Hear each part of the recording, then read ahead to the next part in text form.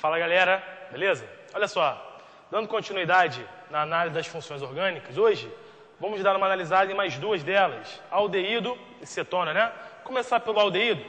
Fórmula geral do aldeído, CnH2nO, né? Que, qual é a conclusão que a gente tira disso? Como é que a gente identifica um aldeído? Vai ser sempre assim, ó, quando a gente tiver o dobro da quantidade de hidrogênio em relação ao carbono mais um oxigênio. E na sua forma estrutural, como é que a gente consegue analisar, como é que a gente consegue distinguir o aldeído das demais funções? Olha só, aldeído, radical de hidrocarboneto, um radical qualquer, ligado a um carbono que faça uma dupla O e esse carbono ligado a um hidrogênio. Essa estrutura tem um nome. Como é que a gente chama isso? A gente chama isso aqui de carbonila primária. Vamos ver alguns compostos agora. Ó. Peguei o menor aldeído de todos, aquele aldeído formado por apenas um átomo de carbono. Me ajuda no nome, vamos lá, vamos lá. Se eu tenho apenas um carbono, prefixo que indica um carbono, prefixo met, não é? Olha para cá e me diz, existe ligação dupla aqui? Existe, existe, né? Tem ligação dupla entre o carbono e o oxigênio. Mas essa ligação dupla vai indicar para a gente uma cadeia insaturada? Não, né? Cadeia insaturada só existe quando tiver ligação dupla entre carbonos. Então, beleza. Cadeia saturada, até porque só tem um átomo de carbono, infixo que indica cadeia saturada, infixo an. Agora, como é que é a nomenclatura, como é que é a terminação de um aldeído? A gente vai colocar o prefixo que indica a quantidade de carbonos, o infixo que indica a cadeia saturada e insaturada com a terminação al. Então, olha só, junta tudo. Esse composto é o metanal, né?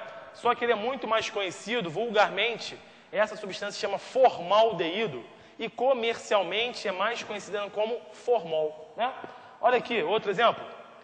Vamos lá, quantos carbonos existem aqui?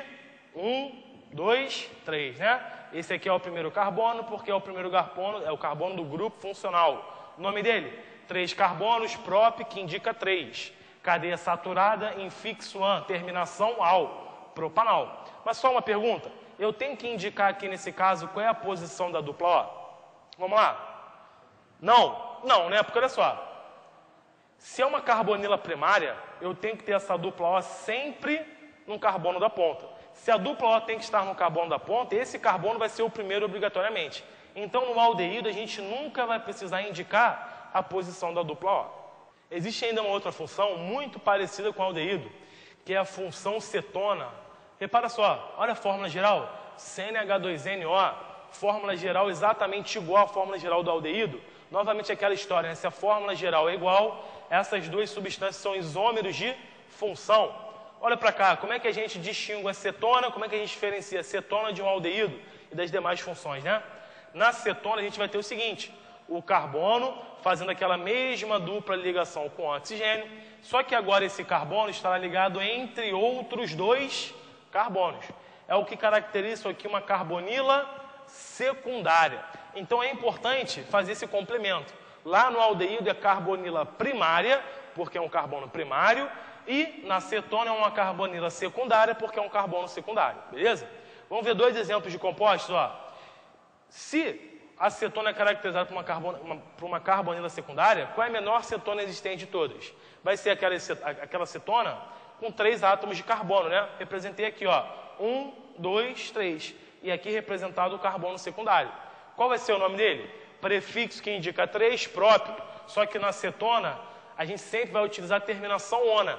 Junto o próprio com ona vai formar propanona, tá? Nome vulgar dessa substância acetona, muito mais conhecida, né?